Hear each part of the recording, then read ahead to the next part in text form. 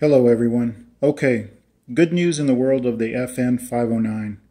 Uh, FN America, uh, as you know, they released the FN 509 Tactical, and with that uh, weapon comes a two 24 round magazines.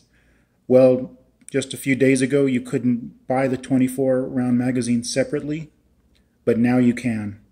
So uh, that's good news. You can, for if you have a regular original FN 509, you can now get the uh, 24 round magazine that's from the F, FN 509 Tactical.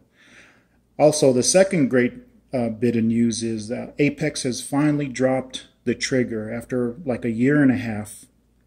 Um, actually, a little bit longer than a year and a half. Apex finally dropped a trigger. So if you want a upgraded trigger, uh, you can get it at the uh, Apex um, website. Um, I'll go ahead and leave some links in the descriptions, so uh, go ahead and check that out. Anyway, today is the uh, unwrapping of the um, the gnome, the FN 509 gnome T-shirt. So here it is, right here. Not bad. It was like uh, 25 bucks, something like that. So let's take it out.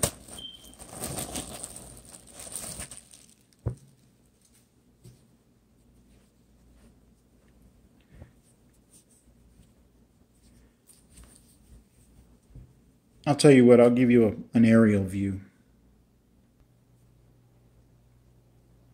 There it is. Pretty cool little t-shirt. Like I said, it's like um, 25 bucks maybe, $24. Nice little uh, design. And there is the real deal.